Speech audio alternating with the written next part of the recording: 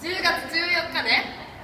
なんとなんとなんとこの3人タワーシリーズがあのアーティスト・オブ・スターダムのベルトに挑戦ですよ！やったきたやったきたやった何これ岩田に対したこれはタワシじゃないよ。待ってください脇さんに同平ここでタワシの豆知識。これもスポンジタワシといってタワシの一種なんだよ。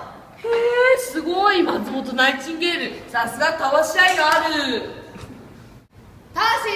道頓堀アリーナにたわしの雨を降らせます。たわしを持って道頓堀アリーナに。